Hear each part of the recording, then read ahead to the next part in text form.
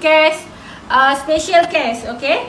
Bawa naik, lepas tu bawa turun. Bawa turun, bawa turun sambil kita adjust dekat mana. Ha. Kemudian punggung kita ambil ukuran paling besar. Kalau kita tak tahu ukuran dia dekat mana, kita boleh turunkan 8 inci untuk yang standard. Kalau dah dia dah ada 40 uh, 44, 46 ambil dalam 8.5. Ini boleh ambil 8 inci.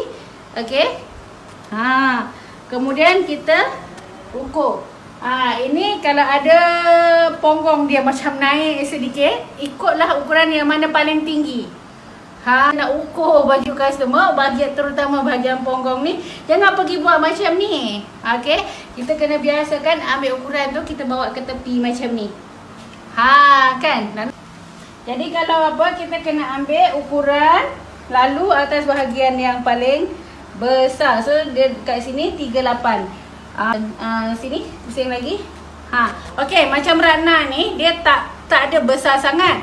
Tapi ada jenis orang yang ponggong dia ke belakang dia terlebih, ke depan dia terlebih, ada jenis peha dia besar. Kan? Ada kan? Ada yang perut besar, ada yang ponggong besar, ada yang peha besar. So, bila macam ni, bila kita nak ukur part bahagian ponggong ni, kena bagi dia naik. Okay, bagi dia naik macam ni. Ini case uh, special case, okay?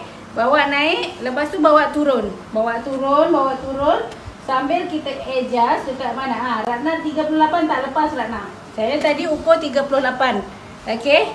38 dia tak lepas. Jadi sambil kita ukur tu, kita bagi naik, bagi turun, bagi naik, bagi turun. So kita akan jumpa bahagian paling besar. Okay? Dekat sini saya ukur 3 38.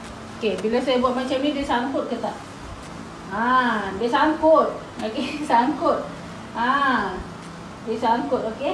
So, yang paling bagus dia dalam 40 lah. Ha, okey. Bila 40 dia dekat sini dia lebar. Okey. Ha, dekat sini dia lebar. Ha, dekat sini dia lebar, bawah ni dia kecil sedikit. Jadi kalau saya ambil 38 memang boleh baju dia tapi sendat. Ha, dia sendat.